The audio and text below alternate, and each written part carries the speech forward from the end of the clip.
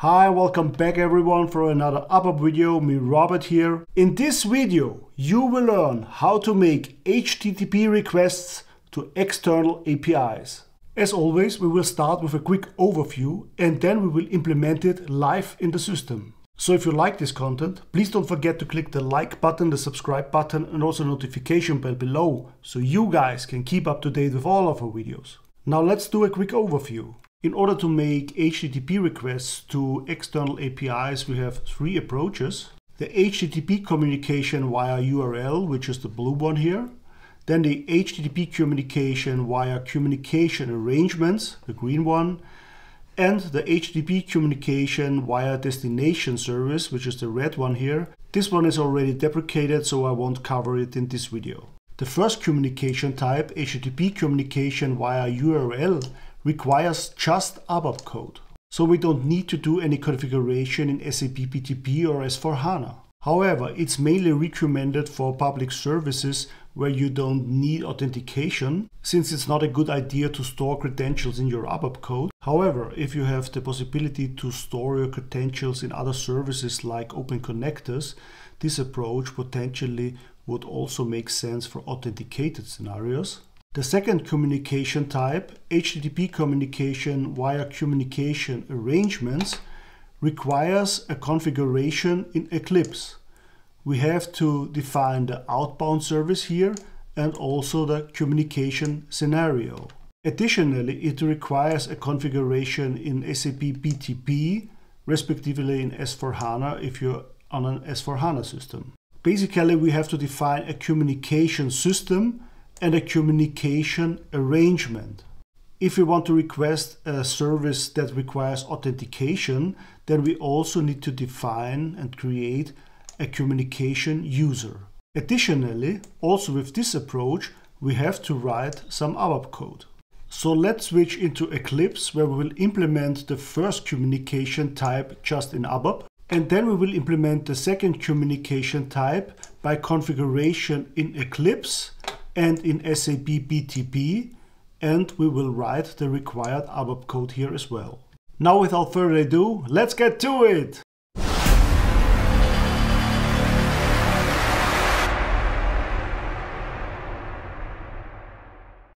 Let's look into the code that I've prepared for you. I've created two classes. The first one is the HTTP request runner class and the second one is the communication handler class. The communication handler class does the heavy lifting by providing three methods, one method per communication type. For the HTTP communication via URL, I've created the method send request by URL. For the HTTP communication via communication arrangement, I've created the method send request by arrangement. And for the HTTP communication via destination service, I've prepared the method send request by dest service. However, I won't cover this one since this approach is deprecated. But before we look into the implementation of the first method, let's look into the other class, the HTTP request runner class here. The HTTP request runner class is an executable class that implements the interface if OOADT class run. So we can execute this class and output its uh, results here in the console.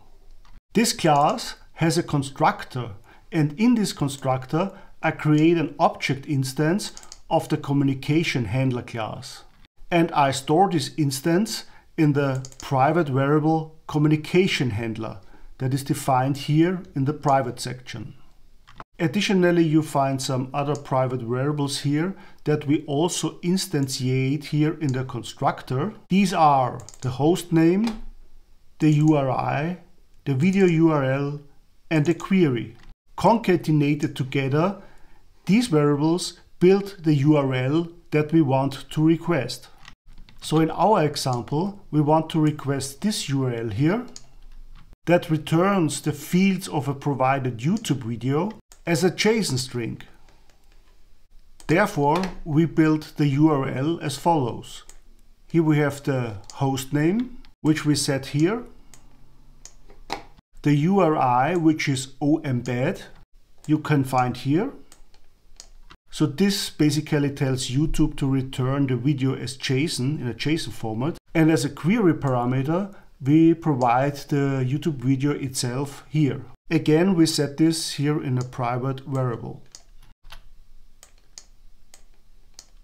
And then we will store this JSON response in another private variable named JSON string here. In the private section of this uh, class, I've uh, implemented these two methods, send request by URL and send request by arrangement. Now let's look into both of them. I execute both of them in the class runner main method. So this will execute both approaches and output the result in the console here. So let's try it out by pressing F9 and executing this class. So here in the console, you can see that each method gives us the correct JSON string as response. Let's look into the implementation of our first approach, which is HTTP communication via URL that I've implemented in the method send request by URL. So what I'm doing here is I'm basically building the request string and then I pass this request string to the send request by URL method of the communication handler class that I've previously instantiated in the constructor. I get back an HTTP response of type if web HTTP response and here I read the status of this response and with the get text method I can get the text content uh, of the response which is a JSON string. I store this JSON string in my private variable JSON string. And finally, I output response from send request by URL followed by the status code and the reason, which you can see here, followed by the JSON string in a new line that you can see here. Now let's look a little bit deeper into the send request by URL method that I've implemented in the communication handler class. For this purpose, we switch into the communication handler class here and we scroll down to the implementation of the method send request by URL. Here you can see that I am dynamically creating the HTTP destination by calling the create by URL method in the class CL HTTP destination provider. And as a parameter, I pass in the requested URL string here. Then I create an HTTP client by passing in the HTTP destination to the method create by HTTP destination in the class CL Web HTTP Client Manager. Then I set the header fields for my HTTP request as follows. This basically advises my client to accept the JSON format. And then I execute the HTTP GET request and store the response in this variable. Since I've defined this variable in the definition here of this method, in the returning statement here, I can receive this response in my HTTP request runner class here with this statement. So that's basically all you need for the HTTP communication via URL. But now let's look into the implementation of the HTTP communication via communication arrangement. As already mentioned, this does not just require an implementation in the ABAP code, but also a configuration in SAP S4HANA or SAP BTP. In our example, I will show you how to set things up in Eclipse and in SAP BTP. First, we create an outbound service. You can do this, for example, by right-clicking on your favorite packages, then new and other ABAP repository object here. Then you type out for outbound and you can see the outbound service here. We click on outbound service. You choose your package here. Then you enter a name for your outbound service. In my case, it's set YouTube OBS 000. The description is YouTube outbound service in my case. Of course, you're free to choose your own description. And here, last but not least, you have to enter a service type. And in our case, the service type is an HTTP service Please note if I choose here the HTTP service, the outbound service name gets the suffix REST here. And then you hit next and then finish. Optionally, you also can set a default path prefix here. However, I don't do this here since I prefer to do this in the ABAP codes directly. Next, you need to create a communication scenario. In order to create this, you again can right click on your favorite packages, new, other repository object, and here you type scenario. And here you find the communication scenario. You choose your package here, then you enter a name for the communication scenario. In my case, it's this one, ZAPI YouTube communication scenario number zero. And then I've added a description here. Then again, you hit next here and then finish. Here on your communication scenario page, you find the outbound tab at the bottom of the page. Here. You click on it and here you can add the outbound service that you've previously created. We hit add and we enter the name of our outbound service and then we hit finish. Here at the top of the page you can choose the supported authentication methods. If your service doesn't require authentication like our sample YouTube service, then you click unauthenticated here. Then you save this scenario and then you hit publish locally here on the top right of the window. Next we switch into our ABAP environment in SAP BTP. Here you find the communication management with the communication arrangements, the communication systems and maintain communication users. Our service doesn't require authentication so we will skip this point here. But what we need to do is we have to set up a communication system. Here you can see that I've already created a communication system for YouTube. However, you can create a new communication system for your external service by hitting new here on the top right. I open my existing com communication system for YouTube here you can see that you have defined a system ID and a system name for your communication system and you have to set the host name and the port of your external service here. Please note that in this communication approach the host name that we define here is used instead of the host name that we have defined in the ABAP code in the first example. Once you've created your communication system, you scroll back here to your communication management and then you can create your communication arrangement with this tile here. We click on it. Again, you can see that I've already created a communication arrangement here. You can create a new communication arrangement by clicking on the new button here on the top right.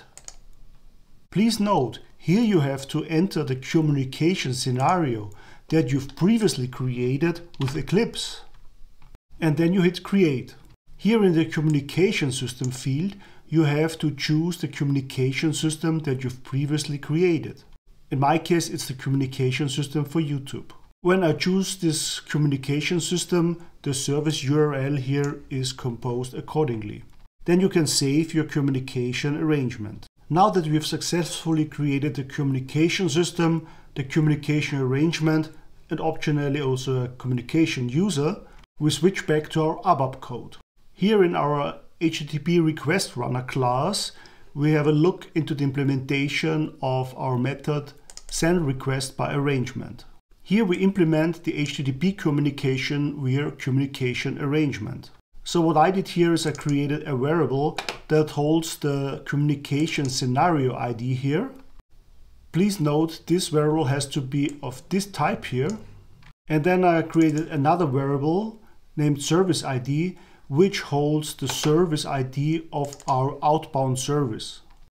So now I can call the send request by arrangement method in my communication handler object and I pass in my scenario ID, my service ID of the outbound service, as well as the URI and the query. These two I've previously set in the constructor. As in the example before, my communication handler method send request by arrangement returns an HTTP response. And from this HTTP response, I can get the status and the text, which basically is the JSON string. And here again, I output this JSON string together with the status code. You have already seen this output here in the demo. But now let's have a closer look into the send request by arrangement method of my communication handler class. I open my communication handler class and here I scroll to the method send request by arrangement.